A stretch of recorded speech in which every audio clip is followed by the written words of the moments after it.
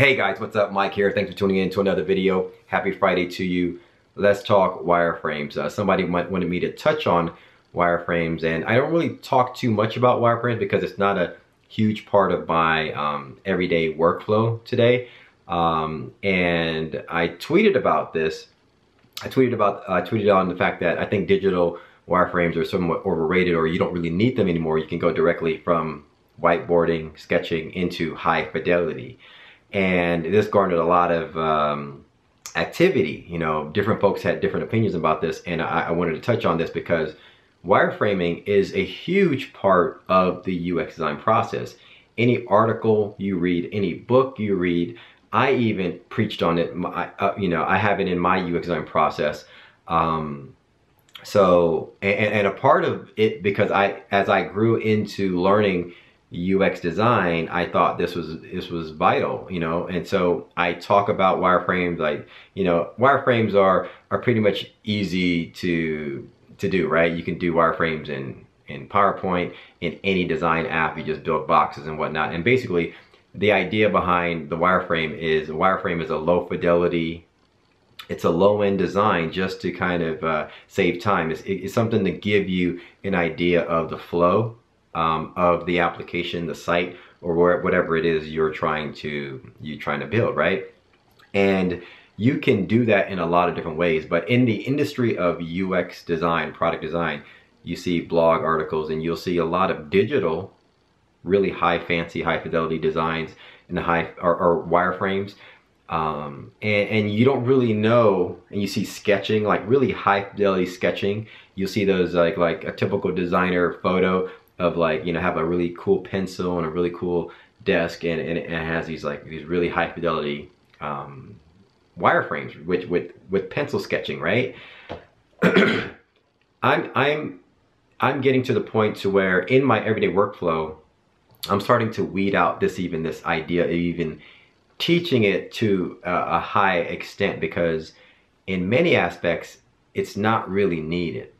Okay, high fidelity digital wireframes or, or just digital wireframes are really not needed per se and they're not that effective. Let me explain.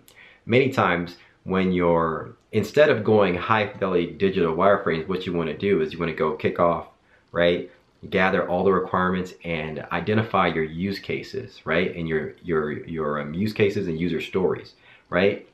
And you can do that either on a whiteboard, um, or on a piece of paper. And basically on your whiteboard, if you are sketching out some some user some use cases, these are low fidelity like boxes and arrows and stuff like that. You don't need to get too too too fancy, right? And so you can take a snapshot of that whiteboard, or if you need to to hash out your use cases, you can hash them out on a piece of paper, right? Just in a bullet point format, right? And now, and why do I say go from there to high fidelity because the tools today allow you to do that so much quicker. Um, back in the day, people didn't want to, I, I think people didn't really want to hassle with, with Photoshop because you got to deal with layers and coming up with the concepts of the design takes too long. But today, many times when you work for a tech company, you're not recreating your VDL, your visual design language, which is the fancy term for your look and feel. You're not recreating your look and feel every day, every week, right? Once a VDL, your, your visual design language is, is set, that's pretty much going to be in place over the next three years, okay? You look at Google, right? Um, you look at Facebook, Netflix, uh, Amazon, uh, Uber, any, any Snapchat, any tech company today has a UI design kit, a visual design language that's already in place. And this allows you to go directly from low fidelity hashing out, brainstorming on a whiteboard or a piece of paper, very low fidelity. I'm talking about chicken scratch to the point to where it doesn't take too much time for this, right? Anything that, that, that requires you to stay within a little line, that's too much, right? So when you see these high fancy, you know, pencil sketches and like even like high fidelity digital wireframes, those aren't needed anymore in my opinion. So you go from there and now you go directly from your, with these, these VDLs that are already created for you, these kits that are already created for you in the companies. We have one at ADP as well. you know, I can drag and drop elements onto a page. And so basically I'm doing my wireframing work in a high fidelity situation. and so I, that's how I always work. Um, and so, and, and in, in addition to that, let me go a little further, okay? First off, it, it speeds up the process, right? That's how I work. These tools allow me to design really quickly. But you would say, why, you know, you don't want, when you're doing user testing and you're building out a new application or whatnot, you don't want the user to focus on the visuals. You want them to focus on the flow. I've been through hundreds, I think probably over a hundred usability studies. I presented to VPs probably over 50 times, like really like top level VPs you notice when you every time um, you present and I've been in situations where we presented low fidelity mockups to users and, and have them like do sorting and whatnot and most of the time it's it's too it's too low of a of a concept for them right? Many times they're looking at this like why does it look like this? or is this how it looks? And you know the VPs especially they're like when can we meet with the with the with the real with the real designs, right? And and so nine times out of ten, these clients and users are focusing on the fact that this design doesn't look pretty, when in fact the purpose was them for you to have them not even focus on the designs. You can even preface the conversation with, let's not focus on the designs. We're just trying to get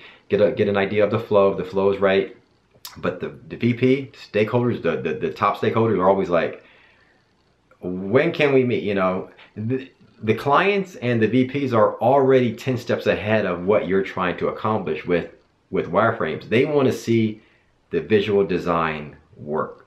Why? Because now they can get context and they can their subconscious can relax instead of them looking at this this gray box and trying to figure out what this gray box is in a high fidelity visual design they see what it's intended to do and now they're actually focused on your presentation and the actual flow of the application.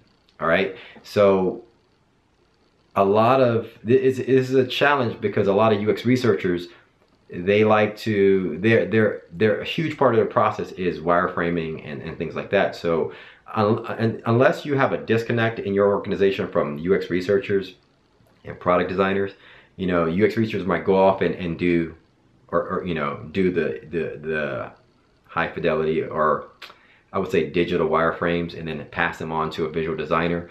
But in my case, when you get and grow into like product design where you're doing your hands-on with UX and UI, you can save your company a lot of time and speed up the process look like a star if you just kind of bypass those things and work quickly and agile and, and lean in a high fidelity mock-up situation. So I'm going to start, I know I've taught wireframes in the past, and but I'm going to take that out of my process and only use it when um, when it's necessary. Like if you're just now building this brand new application, right, from scratch, which is, is rarely the case, um, you might do some high, you might do some digital wireframes, right? Just to kind of hash out everything and then go into the visual design. But normally, normally when you land a job today, okay, um, I would say 95% of the time, there you're, you're coming into some situation where the product is already there for you. And so you want to look at the situation where in not all cases you have to, in the process of UX design, UI design, you don't have to wireframe in every single case. You can, many times you can go from kickoff, understanding the requirements, understanding the needs, uh, whiteboard session, low fidelity, understanding of the use cases and user stories.